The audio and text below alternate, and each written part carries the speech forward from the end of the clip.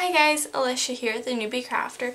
Today I'm going to be showing you how to make these super adorable bookmarks using simple supplies that you most likely have in your craft room and I'm going to be showing you alternatives if you do not have those specific supplies. So to get started, I am going to be using some Recollections cardstock. For the, these bookmarks that I'm going to be making in the video, I am going to be using the Feathered Greens cardstock paper. It's just a set of green. It's by Recollections. It's 65 pounds, but whatever cardstock you have in a variety of colors, variety of shades in that color will work just fine.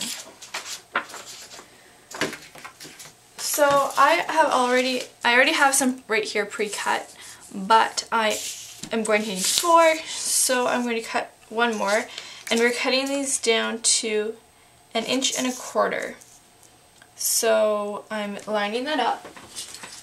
I'm taking my ruler, lining my ruler up with the inch and a quarter, and I'm going to grab a craft knife and cut it.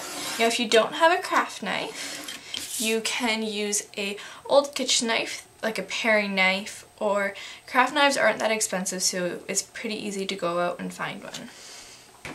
So I have my four strips of in a variety of shades and I am going to take those and some of these really skinny little white paper strips that I have. These are from when I made myself some envelopes last. I use I make mine with the We R Memory Keepers envelope punch board and I keep all the scraps because I can use these little guys for this. I'm going to be using that and some other scraps which are also from my punch board. And I have cut these scraps down to a 2 inch width. So when I line this up here it's 2 inches and we're going to be cutting this off here but it's just easier to wait to cut off the length. So I'm going to start out with just one of these to start and some of this double-sided tape. This is in really tacky, uh, so if I place it in the wrong place I can easily peel it up. And I'm placing two strips on here just along the edges. But this does stick well enough on here that my bookmark will not fall apart. Just gonna drop those into the garbage as I work here. If you have really big ones, I recommend saving those. Like if you're using a really big roll of double-sided tape like this, crazy big, it is about six and a half inches. Um, just keep those scraps because you can use those in other projects and I'll probably have some of those projects coming up in my channel. So I'm going to start out with the lightest color right here and I'm going to line this up along the top right there and then I'm going to put one of the white paint strips in between. So after this I am just going to do all the colors all the way down.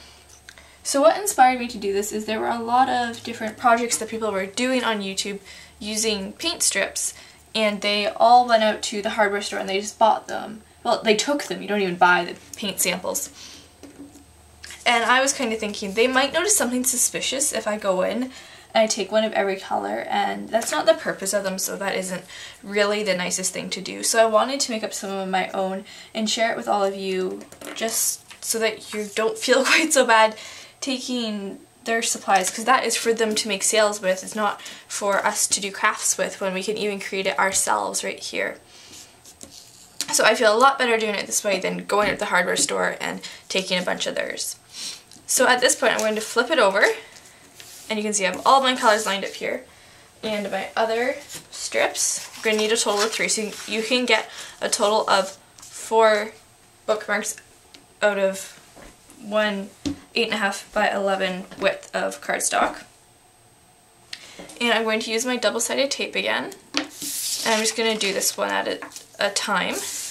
I'm going to apply it onto my paper this time instead, my strips of paper instead of my bookmark bases, I guess you could call them. So I'm going to apply one strip and then move over a bit and do the second. It's okay to have some overhang.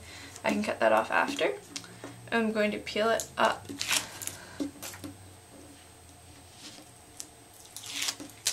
And stick down my next piece. And I'm putting this right up against beside it. And I'm just going to run my craft knife along there after. So I'm turning these into bookmarks today, but I'm hoping to come up with some other things that you can do with these. If I don't, or if you want to, just go ahead and look up paint chip or paint sample DIYs and there are pages and pages of them.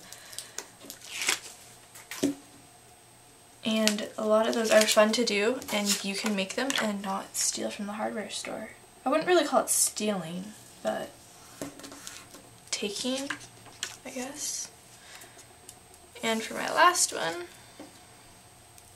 I'm just tearing the strip. Now when I first did these, I would do it like one, one of these, I'd tape on one of these, I'd line up all my papers, and then I would cut it all out and everything. But this method here, I get four of them in about the same amount of time. It is just so crazy easier, but you can, if you only want one, you can do it that way too. They're both good ways to do it. But if you're mass producing them, like I am, just go ahead and do it this way.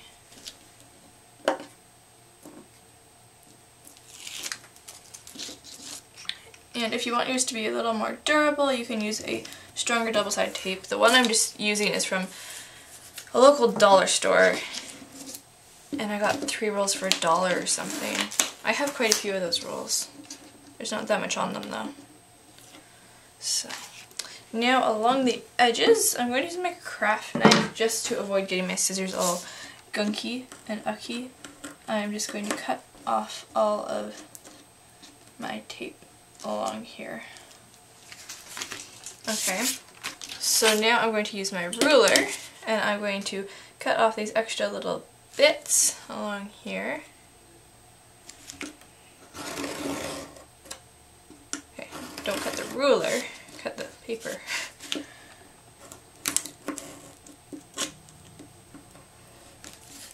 There we go. And I'm just going to throw these guys out. I'm not going to worry about keeping these. I know I try not to throw things out, but there's no point in keeping those. And then I'm going to cut off, thankfully that did not fall on my foot, cut off this white excess here.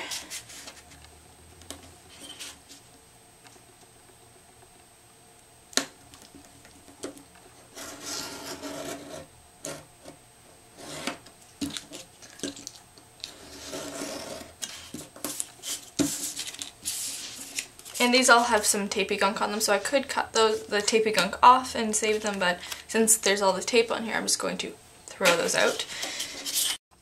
Then I'm going to flip this over, and you can use your ruler, but I trust myself with my craft knife, and I'm just placing the craft knife in between the little grooves of these white pieces of paper, and I am going to slice down, applying a fair amount of pressure because I don't want to have to go over this twice, and I'm cutting through tape and two layers of cardstock. Although I am going over it twice. There we go. And I'm going to do this all the way along. Like so. And we have all of our paint chips right here. I always think they should go lightest to darkest, not darkest to lightest. That's my personal preference. It's totally up to you. So I'm next going to take my clear tape. This is crystal clear tape. It was like a dollar or two dollars a roll. Really cheap.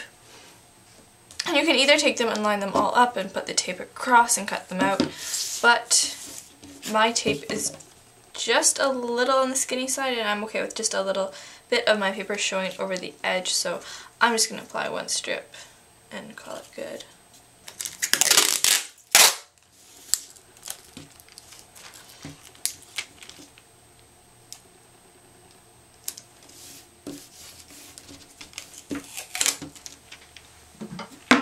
going to cut off the excess with my scissors there. And now flip this over. And stick down the tape again.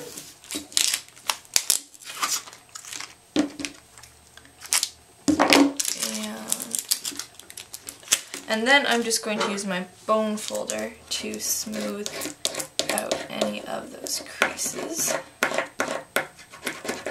And flatten everything down all the way. If you don't have this, you can use a spoon from the kitchen. But I have one of these, so I'm going to use it. Cut off the excess. I know this is optional, but it just makes it a little more durable over time because I perfectly personally am really, really rough on my bookmarks, probably more rough than I should be, but I find that covering them in tape really helps. And using cardstock rather than paper. So I'm going to go ahead and do that to these three right here. So now I have applied tape to each and every one of these. And for my next step, I like to take a hole puncher. You can use your Crop-A-Dile or just an old-fashioned hole punch like I have. You can get them by the scrapbook companies or you can get them at the hard at the office supply store. And just, I kind of eyeball the middle. Don't put it down too far, it looks slightly awkward. So just go along and punch. Just don't go too high up or your bookmark's kind of ruined. So I have punched each and every one of these. And on my other ones I used some of these glitter tapes, but these are a pain to peel and I don't really want to have to deal with that on video. So I have, these are stick-on ribbons I got from Michaels. Yes, Michaels. And I'm just going to peel this up and I'm going to stick it along the edge of one of these.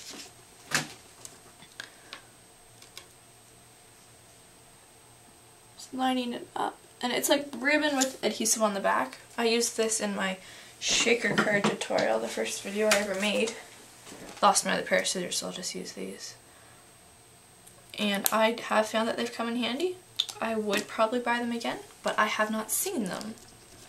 So I cannot buy them again because they don't have them anymore.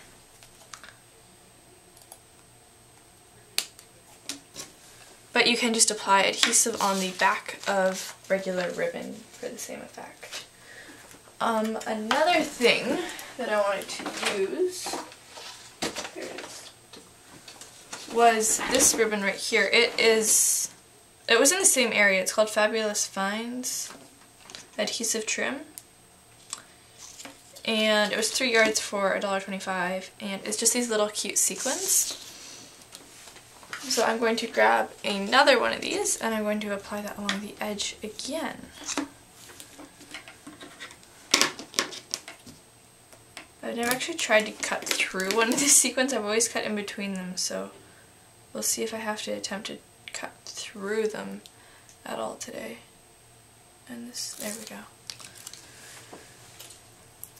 That will be interesting if I have to. I don't have my good scissors with me. And I think I have to. Let's see how this works out.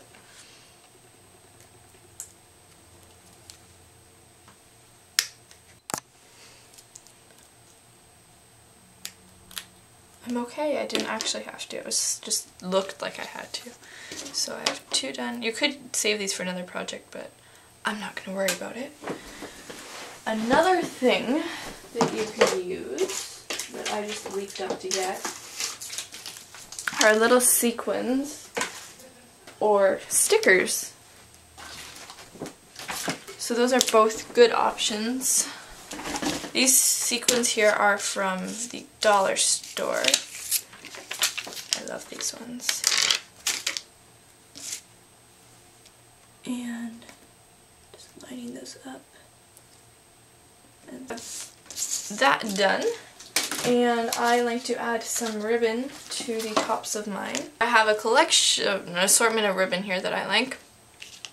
And I like to use 12 inch lengths of it best. This is 11, this is 10 and a half, but it's close enough to 12 for me. So picky I am. and poke that through and loop it up. So if you want to, you could add beads onto the ends of these, but I am choosing not to. I'm just going to cut these ends on an angle so they look really nice. That's a bad angle. There we go. There we go. Okay, so I have that one done. And I think this looks okay. 12 inches. So I hope that you guys enjoyed this video. Please subscribe and like, and I'll see you next time.